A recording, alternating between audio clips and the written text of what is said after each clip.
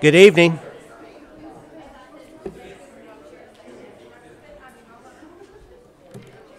Let everybody get filed in here.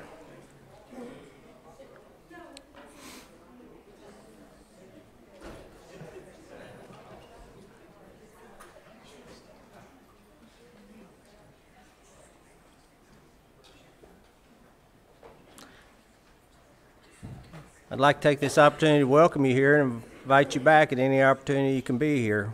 We're a little short on announcements tonight, but that may be a good thing. I see some faces back that's been away and some that's just passing through, I think. So, so it's good to have those back with us that's been gone. Traveling out of town, though, Patrick and Holly are out of town. Serving tonight, Mark will be leading us in singing. We'll ask Matt Middlebrooks to lead the opening prayer. Ryan English will take care of the closing prayer. And Evan Huber will bring us the invitation. Is there, and Cody is in the audiovisual booth. Is there anything further I need to announce?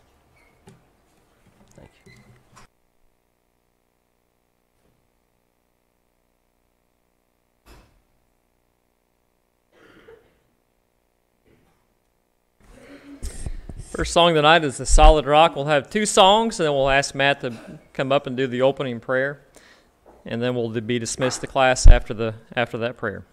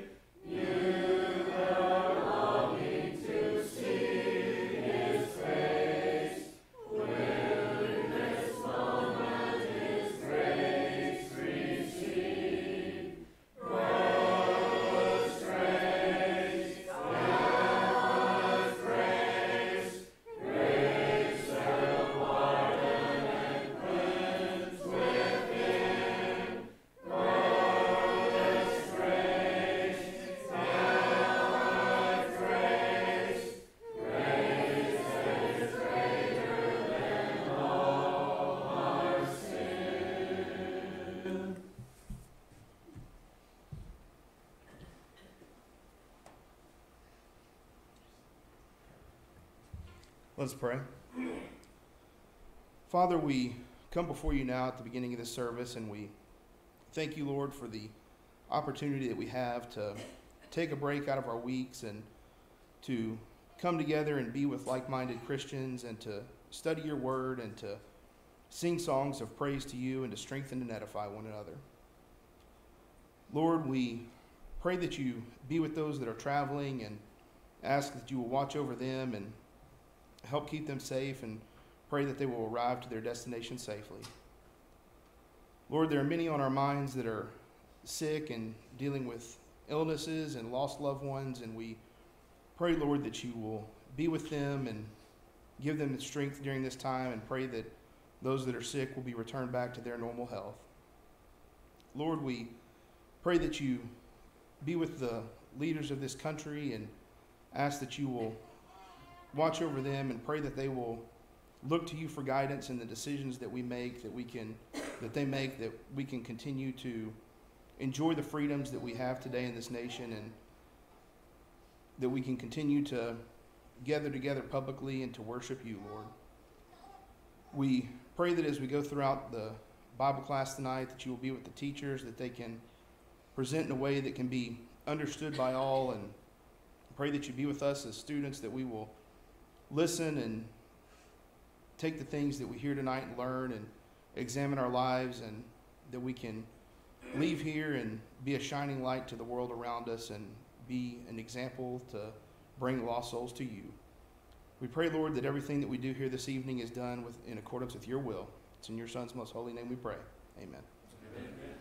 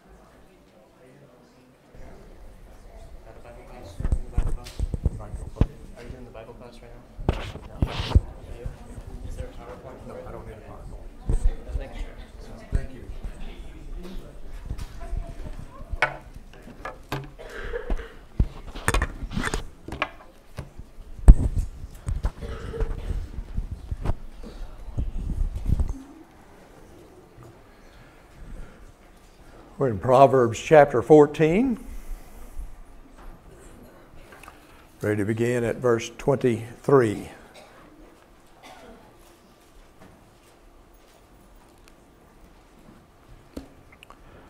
Proverbs chapter 14, verse 23.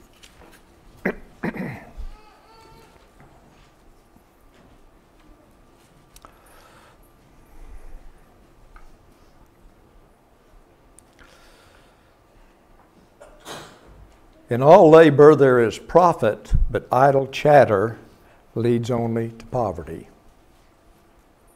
Do you ever work with anybody that just stood around and talked so most of the time? Dale's going now.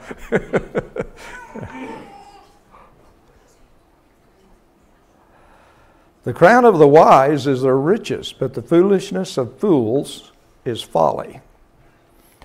I in, in thinking about, you know, the Solomon has said quite a bit about riches and poverty, poor, the poor and the rich, and, and so on and so forth. And the crown of the wise is their riches.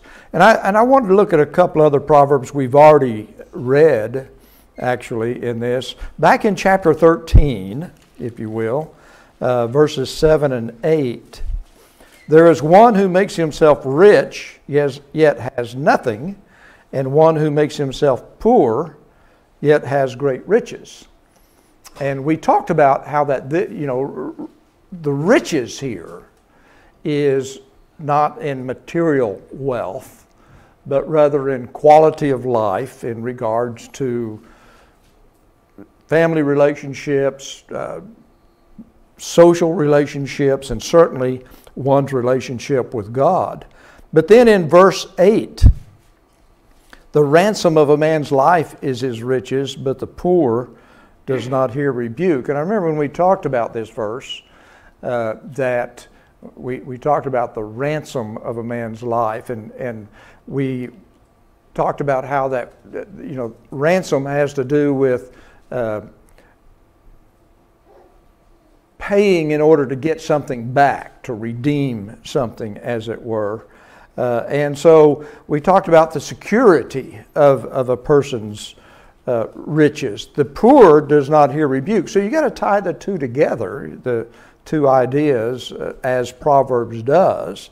And whenever you think about the ransom of a man's life is his riches, is re- regards to his ability to be able to take correction, to be able to hear instruction, to have the kind of wisdom that we talked about uh, in regards to uh, the understanding and the knowledge of God's instruction. So the poor does not hear rebuke. And that ties in several times. The uh, proverb writer talks about the inability uh, that people have of not listening to instruction or correction and that's the idea there regards to the poor. You're poor in regards to your quality of life because you're not listening to rebuke. And so you have to put that into that parallel. Uh, and then go to chapter 14 and verse 20. The poor man is hated even by his own neighbor, but the rich has many friends. And we talked there about how that people think that they, they become friendly with someone who is materially well off and that they might be able to profit, to be able to get a gain or some uh, benefit as a result of being friends with a rich man. And so, so and, and the reason I wanted to go back and read these after reading this proverb here in, in uh, verse 24 is to show that how Solomon uses the word rich in different ways. Sometimes, by the context, we can kind of tell that rich there is material wealth. But at other times, it has to do with quality of life. So the crown of the wise is their riches. And I think here he's talking about quality of life. And when he goes on then to say, the foolish, uh, but the foolish of foolishness of fools is folly. New King James Version says, actually, that word folly is exactly the same word as foolish in the Hebrew language. And so uh, I, I, I, don't know why the king. Does anybody have a translation that, that you, says the foolishness of fools is fool, foolish? I guess the reason they translated it folly instead of foolish, because like I said, it's the very same word in the Hebrew. I guess the reason they did it is simply to keep from sounding ridiculous, you know, overly redundant. The foolishness of the fools is foolishness. Uh, anyway, so that's why I think here in verse 24 he's talking about the, the riches, the crown of the wise and whenever he uses wise, of course, that's always the same in the Proverbs regarding someone who has the wisdom of God's instruction, of, of understanding God's will. So, questions or comments? Something that he has also addressed before is the idea of a false witness. We talked about the ninth commandment of the old law the law of Moses. And so he says in verse 25 a true witness delivers souls, but a deceitful witness speaks lies. And the idea of a true witness delivering souls, of course, is the fact that when someone bears true witness to someone's innocence, uh, the only reason someone would bear false witness generally we think of a false witness as being someone who is trying to get someone in trouble or convicted. However, a false witness can also be someone who's trying to get a buddy off you know, to get someone not convicted, but a true. So here, the idea of a deceitful witness carries with it the idea of someone who's trying to get someone convicted or in trouble, whereas a true witness delivers souls. Verse 26 and 27. In the fear of the Lord there is strong confidence, and his children will have a place of refuge. The fear of the Lord is a fountain of life to turn one away from the snares of death. Fear of the Lord, wisdom of the Lord, instruction of the Lord, understanding of the Lord, fear of the Lord being reverence of Him, respecting what He has to say, being awed of, of the Lord. And uh, Lord here, uh, does anybody have a translation that says Jehovah in verse 26, 27? I think probably American Standard would be.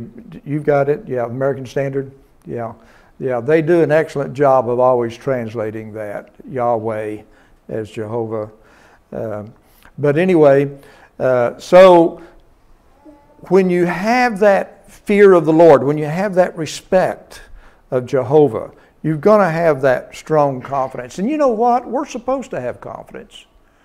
We're supposed to have faith that God's promises will be fulfilled and that, I, tell you, the greatest promise that I take confidence in, that I take consolation in, I guess would be a good word, is forgiveness, mercy.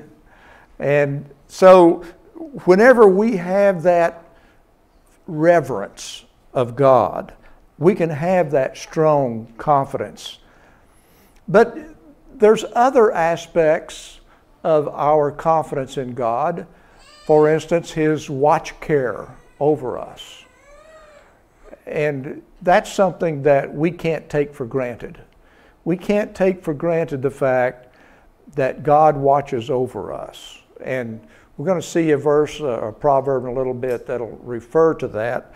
Uh, but you know, God loves us. God wants the best for us. And when we have that fear of the Lord, we get the best. Now, that doesn't obviously mean we don't ever have hard times or trials or tribulations. Obviously, we do.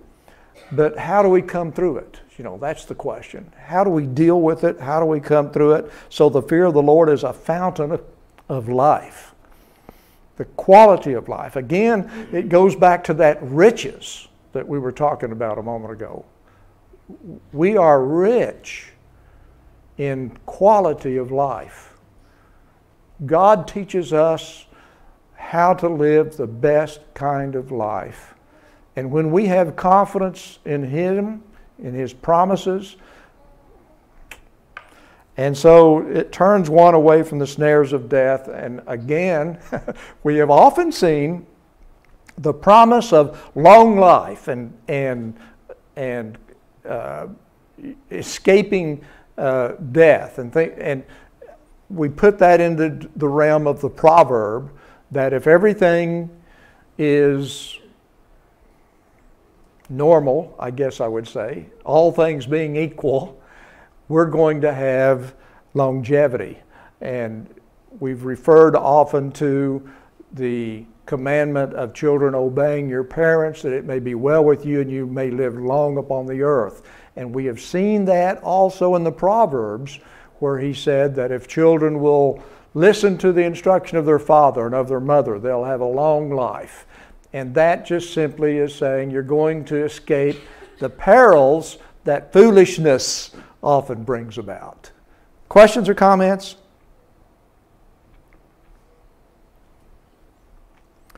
In the multitude of people is a king's honor, but in lack of people is the downfall of a prince.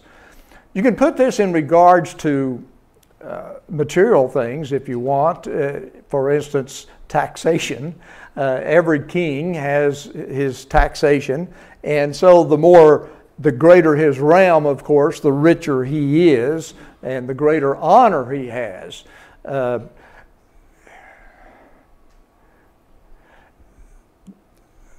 to put it in regards to the way we think today, uh, a president of a third world country, you know, we, we don't think much of that person's uh, power and, and uh, dignity, whereas someone who becomes president over a great nation, you know, that's someone with great power and, and as a result of that, honor. And so that's kind of the idea behind this here. Now, put it in perspective of when Solomon was writing. Who was the greatest king in Israel? Not the richest, the greatest.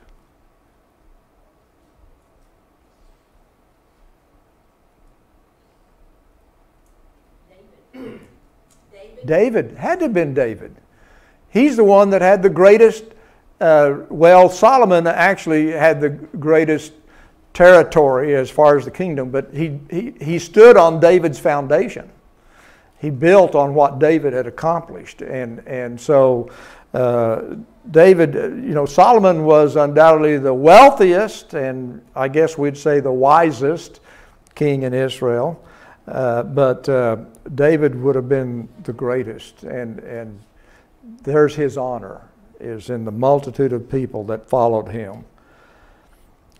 Leadership, of course, has a lot to do with that. Verse 29 He who is slow to wrath has great understanding, but he who is impulsive exalts folly. That word impulsive uh, actually literally means short. And my middle margin says short, short of spirit, but actually that's, that's probably not the best translation in regards to what's being said here. It, and so slow, uh, uh, short of temper would be probably the best way to, to say that. So he who is slow to wrath has great understanding. It is a, it is a result, of course, of the teaching of God, the wisdom of God. Uh, let every man be slow to wrath, uh, sw- uh, slow to speak, and swift to hear. And, and so um, we are taught by God to be temperate in our temper, I guess I'd say. A sound heart is life to the body, but envy is rottenness to the bones. So he's talking about a sound heart. Now, when you read that, you might think of that blood pumper in your body, you see. That that's life to the body, to be able to have a strong heart that way. That's really not the context here. Again, you have to look at the yin and the yang of it, the, the, the comparison that he's making here. So, what's the comparison? Envy is rottenness to the bones. So, the sound heart here is, is referring to the spiritual heart of man. To, you know, you shall love the Lord your God with all your heart. not talking about the blood pumper, talking about the inner being. And I think that's the idea here because of the comparison it's making. Whenever someone has a sound inner being, that's life. You're not dealing with envy, bitterness, jealousy, those things that eat you up inside, that destroy the inner man, the inner heart. And so it's uh, so I don't think we should take that as the blood pumper, but rather as the inner being of a person. Questions or comments? And you, you're comparing David, what, what made him greater than, than any of the kings was the fact that he was a man that says after God's own heart. These other kings didn't have that mindset. They, they were looking at great things, and they used their people to get those things for them. David loved his people, and, uh, and, and he wasn't like that at all. Right, and he loved the Lord, and and and he was dedicated to being what God wanted him to be. Not a perfect man, obviously, and, and that's the beautiful thing about God's Word is it shows us both sides of everybody. But, but he was a man after God's own heart. He was a man that loved the Lord, wanted to please the Lord, so that whenever his sin was pointed out, what was his? I have sinned against God. Verse 31 He who oppresses the poor reproaches his maker, but he who honors him has mercy on the needy. Later on, and, and I'm going to go ahead and refer to this, I, I generally don't like to jump forward in the Proverbs. Uh, uh, sometimes I like to, as I've already done tonight, to refer to some we've already read. But I want to jump forward to chapter 22 and verse 2 because it explains the first part of this proverb. 22 and verse 2. The rich and the poor have this in common the Lord is the maker of them all.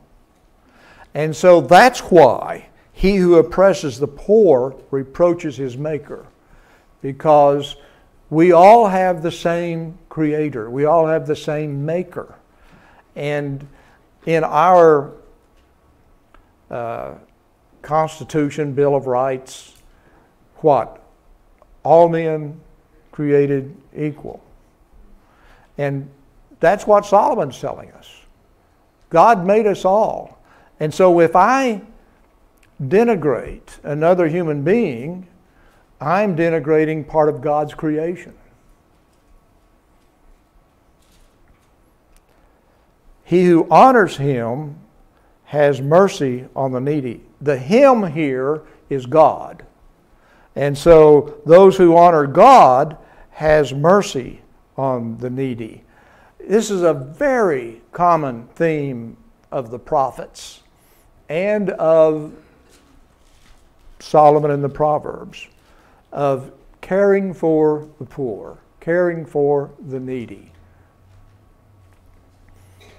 We are to look out for the orphan and the widow, uh, to look out for uh, those who have a reason uh, to be poor. Solomon has already addressed the indolent person, the person who won't work. He talked about the, you know, the, the poor man whose field, whose fallow field is full of fruit. You know, he's not reaping anything because he's not planting anything. He's not working the field. It's fallow. It's not being worked. That's why he's poor. But there are people who are poor beyond their circ- or beyond their control, beyond their own circumstance, uh, and that's the one that we're to have mercy on. And that's why the widow and the orphan was such a common theme at that time because they had to rely upon the goodness, the mercy, the benevolence of their neighbors, the people that knew them. And uh, they didn't have uh, some of the government programs that we're fortunate enough to have. And it is, you know, the, the government programs we have is a blessing for the poor. It's just unfortunate that it's abused by the lazy. Would I dare to say that? Yeah. Questions or comments? 30, 32. The wicked is banished in his wickedness, but the righteous has a refuge in his death. Again, comparing the two, when you talk about being banished. And he, he talks later on about, uh, the, about uh, the foolish and Sheol and destruction. And that's the idea here. It, th- this banishment is God's banishment. We can often think of wicked people being caught in their wickedness, whatever, you know, if it's a criminal thing, uh, being banished by a community uh, or a village at, at that time, something like that. But, but you put it in, again, in comparison to the second part of this proverb the righteous has a refuge in his death. And so the banishment is the banishment of the Lord. 33. Wisdom rests in the heart of him who has understanding, but what is in the heart of fools is made known. as the as the um, heart thinks, so it, so the mouth speaks. Uh, that's the idea here.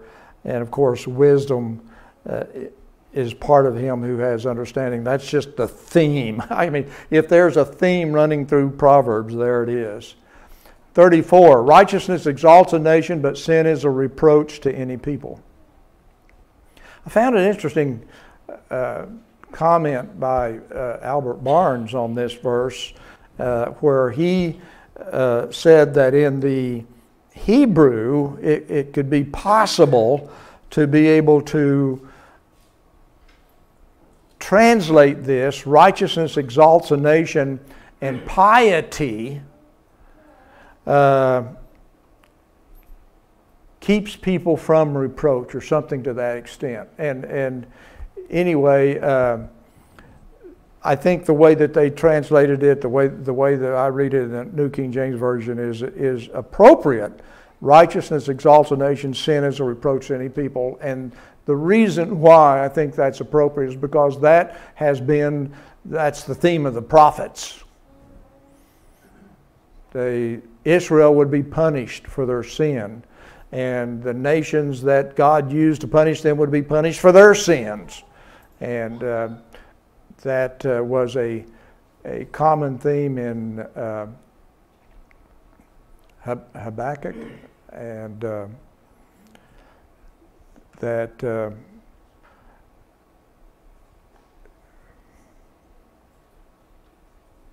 Habakkuk.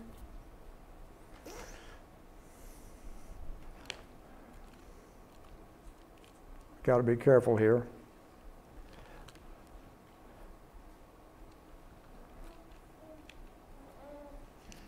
Yeah, Habakkuk.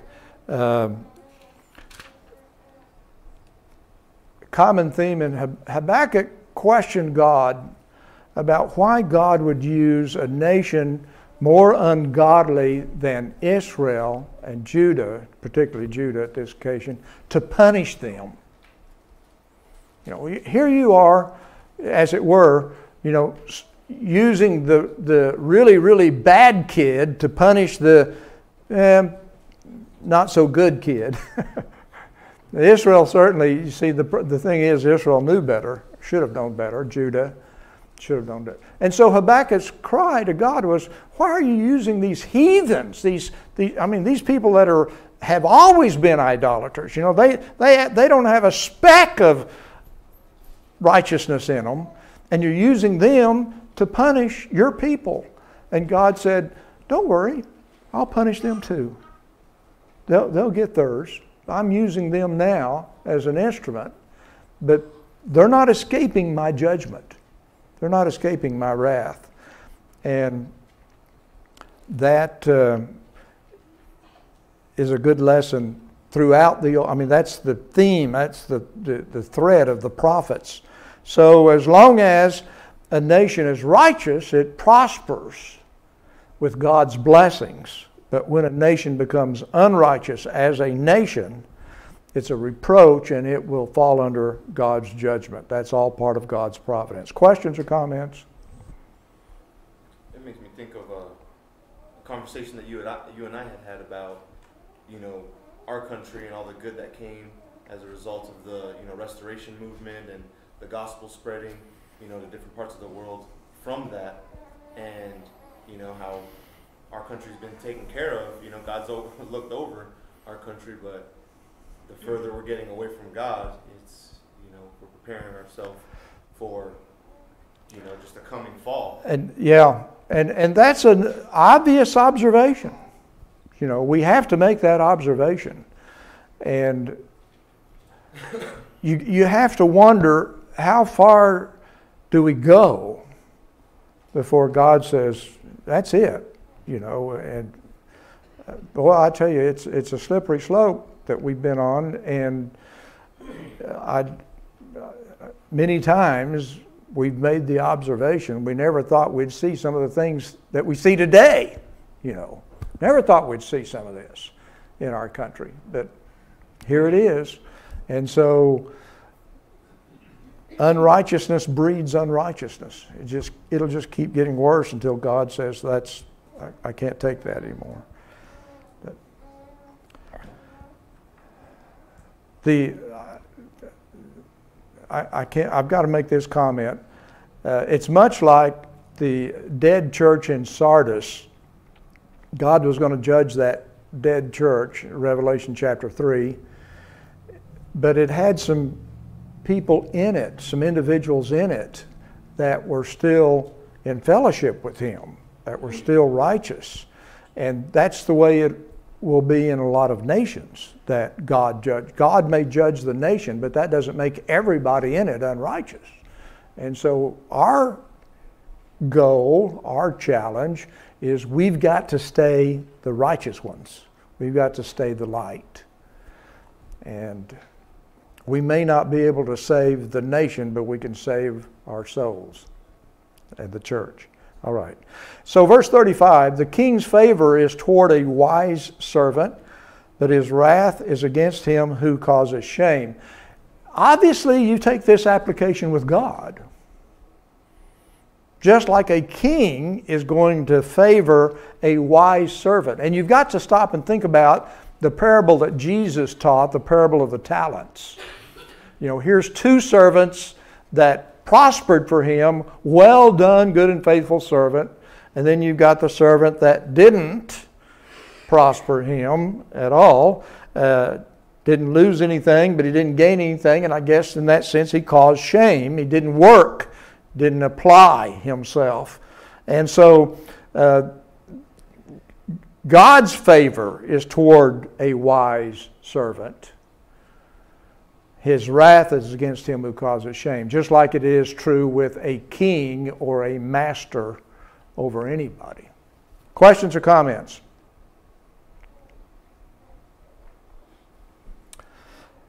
Chapter 15, verses 1 and 2. A soft answer turns away wrath, but a harsh word stirs up anger. The tongue of the wise uses knowledge rightly, but the mouth of fools pours forth foolishness.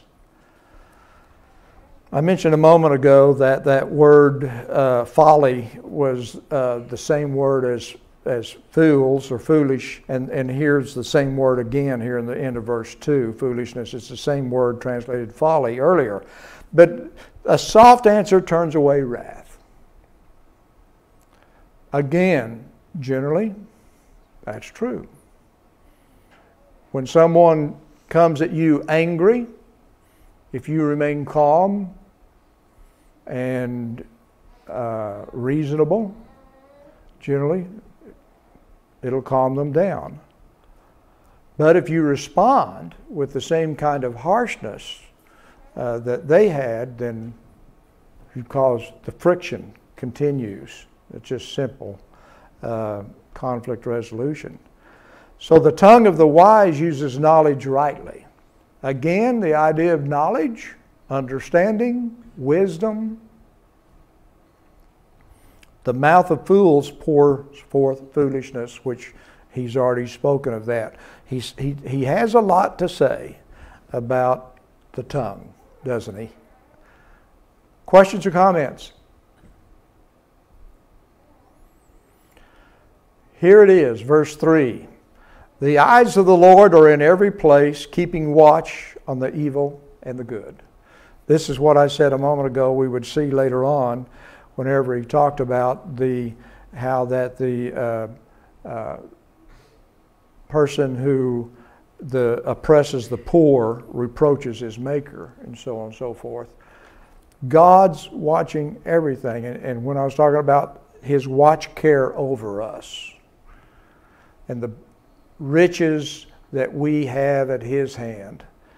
God knows us. Jesus put it this way, didn't He? The number of the hair on your head, God knows the number. That's how intimately God knows us and, and how, how he, he watches over us. And keeping watch on the evil and the good. So many times when people suffer bad things. Well, where was God? Where, what doesn't God care? Yeah, he cares.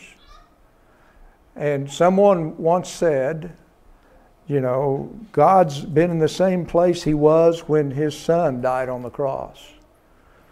God is, is watching over us. And with his people, whenever Paul wrote in Romans 8 28, all things work together for good for those that love the Lord, to those that are called according to his purpose.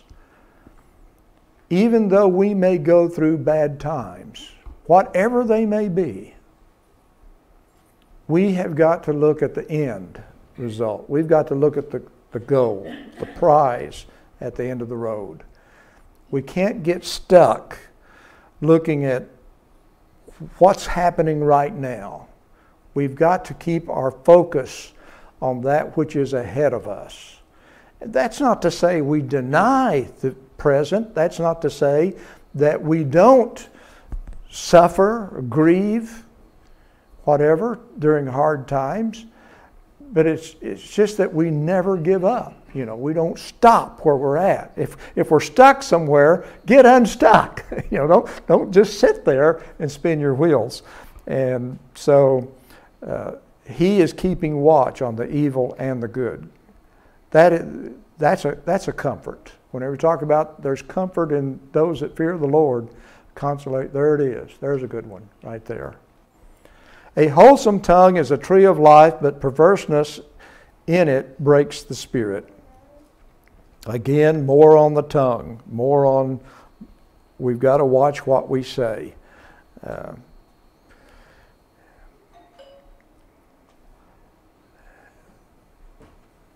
is that the first one or the second one? First one? Okay. A fool despises his father's instruction, but he who receives correction is prudent. We've seen this before, and we made a statement about it a moment ago. Children, obey your parents in the Lord.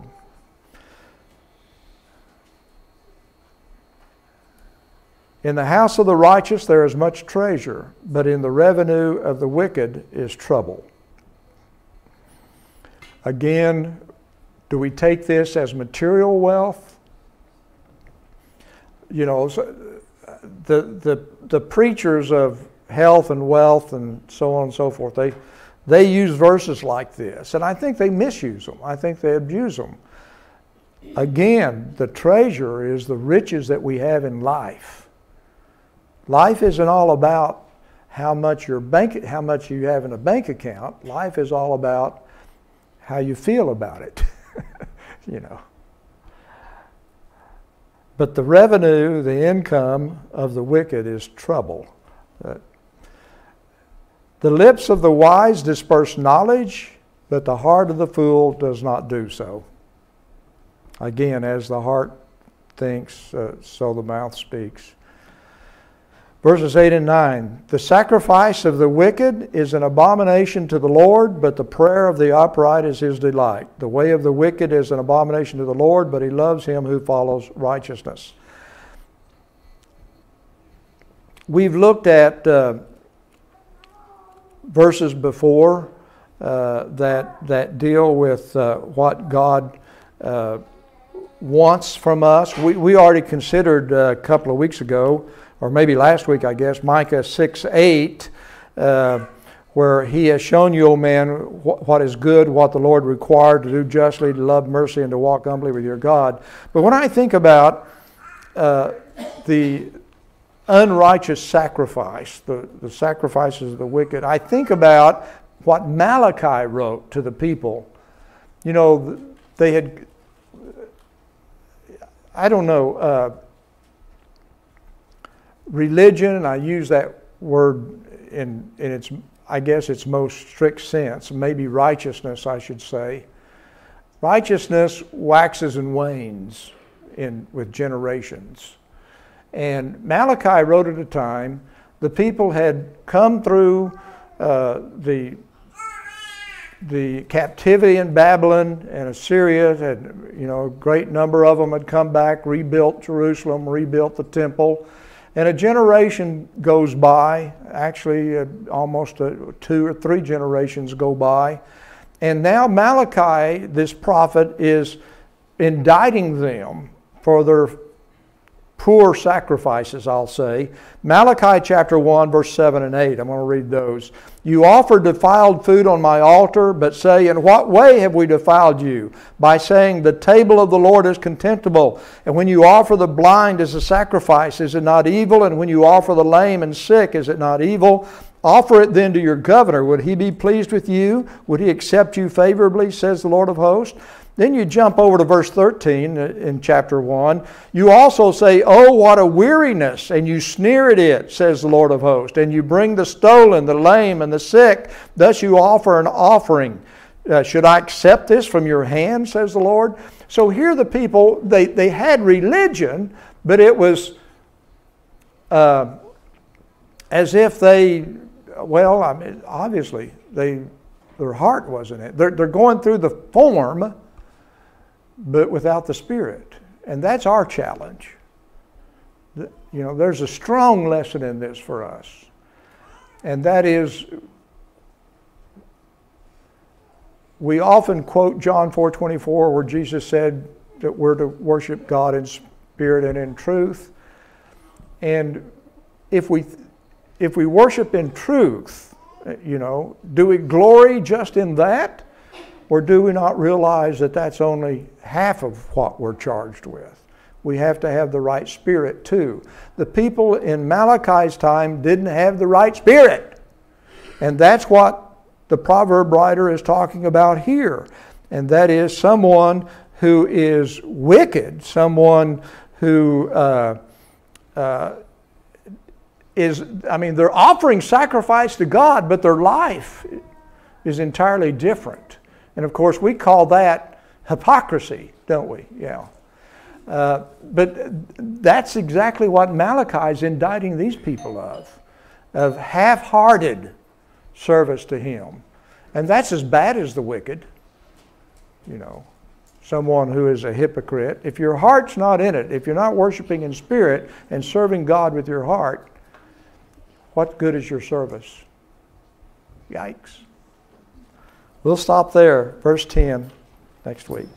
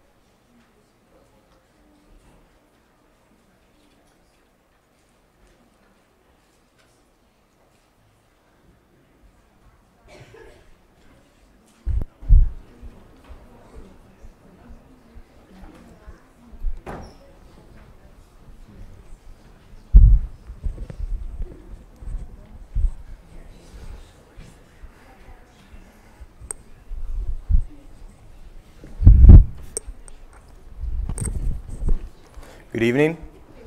For the past like two years, I've been working in uh, the news broadcast, studio broadcast, making news. And the thing, the ethic is always if you're doing live anchoring or even helping someone, like setting up tech for someone who's anchoring, you always find a spot. Wear something where you can hide the microphone. Find a way to hide the microphone, hide the wire. I was like thinking, how am I going to hide the wire? Because the goal is always either where, if you're going to hide the wire, wear more clothes or wear darker clothes. And I'm up here and like I've got a white shirt. I don't know what I'm gonna do. And I was trying to find a place. All right, how can I hide the wire on the mic? Then I like looked around and, like, and I was like, they don't care. And um, but um, one of the other, my main job is in film restoration, and I, I know that's the most fun topic that gets brought up here is my life in film restoration. In film restoration, in motion picture film specifically, there's a phenomenon known as vinegar syndrome.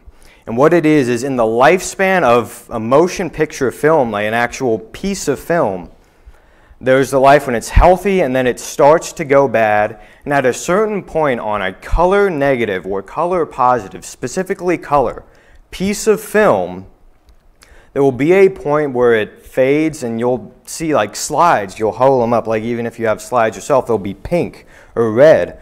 They'll fade to have no color.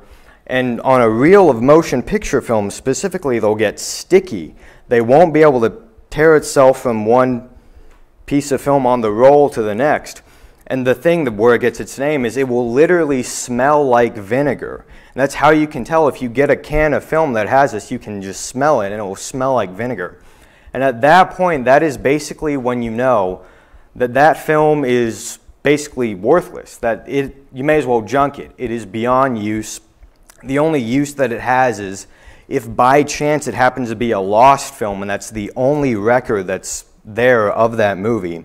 At that point, when it has vinegar syndrome, you may as well junk it. You may as well throw it away. It has no value. It's beyond repair. It's beyond the point of where you can restore it. You can't do anything with it. And the reason I bring this up is when it talks about, because the way I'm relating this is we like to think of people, like people's souls, and even not even in a religious context, just morally in general, even the, the outside world has the view that in the morality, there are people who, can, who are good and there are people who are bad but can be saved, but there are some people who are so bad that they can't be saved. They're beyond repair. And this is universal that people have this idea. And we obviously, as Christians, the whole idea of Christianity and becoming a Christian is having your life be in a situation where it can be repaired. So we obviously know that that's not true. We obviously know that there's not a soul that can't be saved by God's grace. Now, that doesn't mean that you are going to save every soul, because people like to have the idea that what that means is that every soul can be saved, that there's no soul beyond saving. They think that they can go out and convert any soul. That's just not realistic, because there are some people that you not that they're beyond saving, but that you cannot save because they need to discover that for themselves or for any other reason that they just won't, you're not going to help them. It's just an unfortunate reality, but that does not mean, that's not to be confused with people who are beyond repair, who just don't have a life that is worth living or can be saved. So, anyone, we know this, anyone can be saved, anyone can have their life restored. So that's what this whole lesson is about is about how unlike vinegar syndrome that point is you can't save that. Where it's beyond use, you may as well throw it away. There's no more life that you can squeeze out of this. There's no there's nothing that it has value for. We know that as human beings, we don't have that. We don't have the vinegar syndrome. We're not beyond repair. We can be saved. We can be restored, and we have the opportunity to be restored. And that's why people become Christian because that's what they want. They want to be saved. They want to be restored. And you can do that. You can be restored. You can be saved.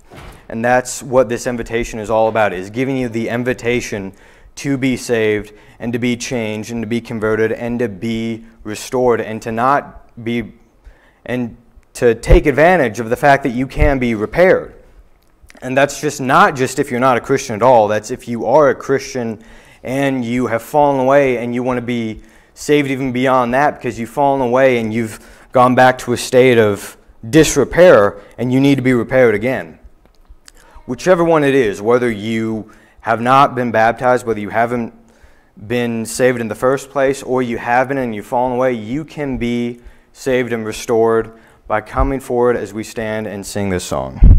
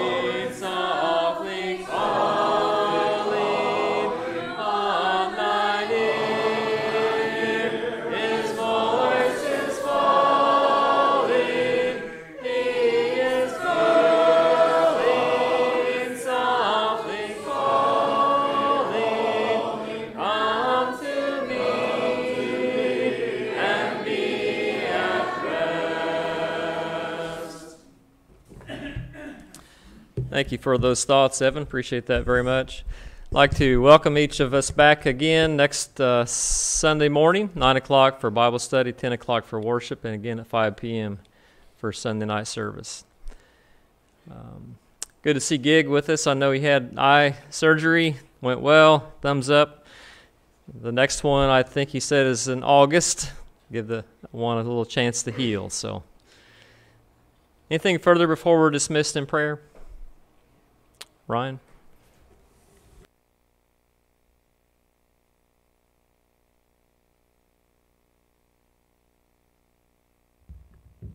Let us pray.